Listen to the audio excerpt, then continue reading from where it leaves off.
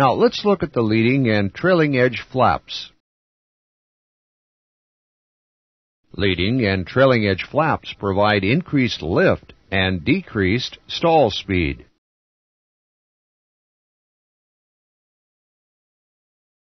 There are three groups of leading edge flaps on each wing. The first group is outboard of the engines. The mid-span group is between the engines, and the third group is inboard of the engines.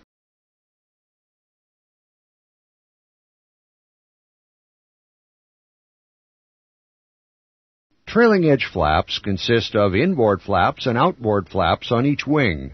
Opposite groups of trailing edge flaps are mechanically connected to maintain symmetry.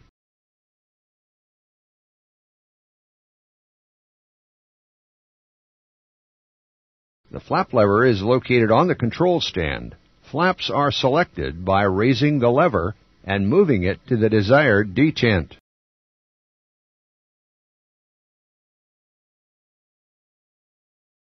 Positions 1 through 20 are maneuvering flap positions.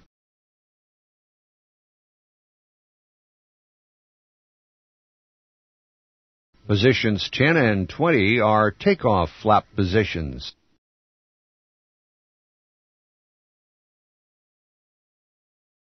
Positions 25 and 30 are landing flap positions. Gate at the flap's 20 detent prevents inadvertent retraction past the go-around flap setting. Gate at the flap's 1 detent prevents inadvertent retraction of the remaining leading edge flap groups. Flap lever position is transmitted to three identical flap control units, or FCUs. The FCUs sequence and monitor flap operation. They also provide flap indications, flap load relief, and asymmetry protection. Each FCU is capable of performing any or all of the basic FCU functions independently.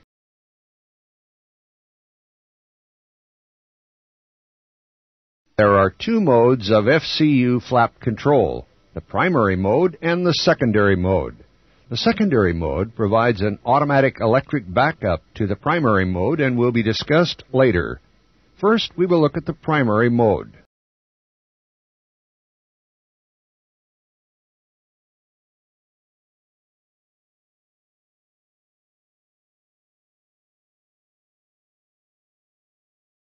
In the primary mode, the FCUs command drive units to drive the leading edge flaps using pneumatic power from the bleed air ducts.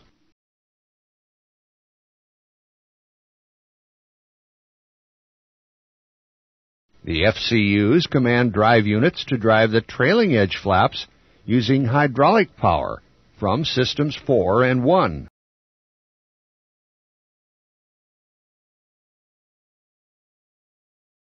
The FCUs automatically sequence the extension and retraction of leading and trailing edge flaps.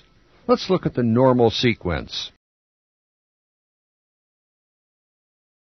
With the flap lever in the flaps 1 detent, the midspan and inboard leading edge flap groups are extended, and the trailing edge flaps are fully retracted. With the flap lever in the flaps 5 detent, all leading edge flap groups are extended, and the trailing edge flaps are in the flaps 5 position. When the flap lever is moved to the flaps 10, 20, 25, or 30 detents, the trailing edge flaps move to the selected position. Question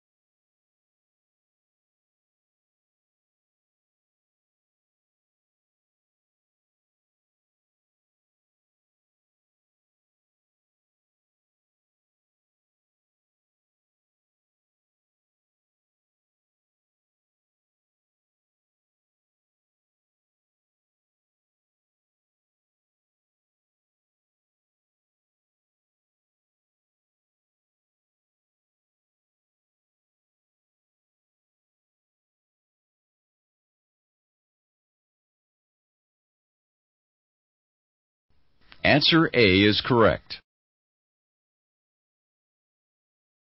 Question.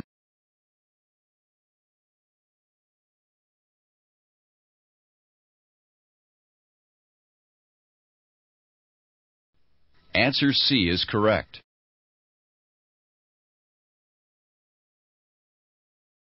With the flap lever in the flaps 1 detent, the inboard and mid-span leading edge flap groups are extended and the trailing edge flaps are fully retracted. Let's discuss flap position indication. Flap position information is provided to EICAS by the FCUs. When all flap positions are normal and the FCUs are in the primary mode, a single vertical indicator presents a combined display of leading and trailing edge flap positions. The position commanded by the flap lever is also displayed. When the mid-span and inboard leading edge flap groups are in transit, the vertical indicator is positioned halfway between up and 1.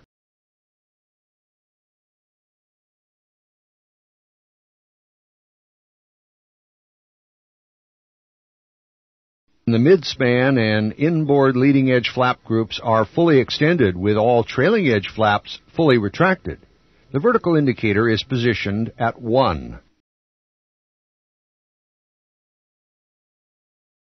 For flaps 5 through flaps 30, the vertical indicator displays the position of the slowest trailing edge flap group. Leading edge flap group positions are only displayed under non-normal conditions and will be discussed later.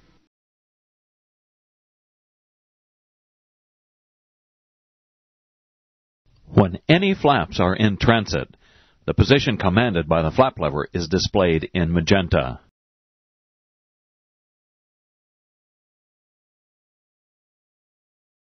When all flaps reach their commanded positions, the position commanded by the flap lever is displayed in green.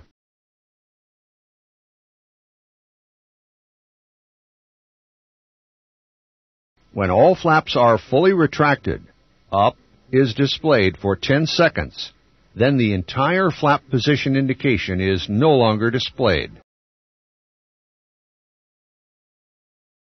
Now let's look at the secondary mode of the FCUs. If any flap group fails to move to the commanded position, the FCUs automatically switch to the secondary mode for the failed group.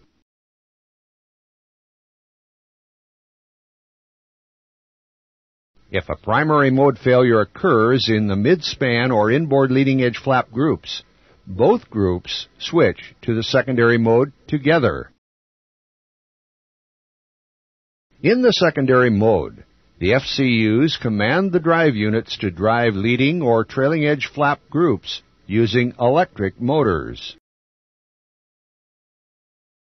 The leading and trailing edge drive units all have electric motors. If any leading edge flap groups are driven in the secondary mode, the groups remain in the secondary mode until they reach the position commanded by the flap lever. They then reset to the primary mode. If a trailing edge flap group is in the secondary mode due to a lack of hydraulic pressure, and hydraulic pressure is then restored, the FCUs automatically switch back to the primary mode. However, if a trailing edge flap group is in the secondary mode with hydraulic pressure available, the group remains in the secondary mode until it is fully retracted. Then it resets to the primary mode.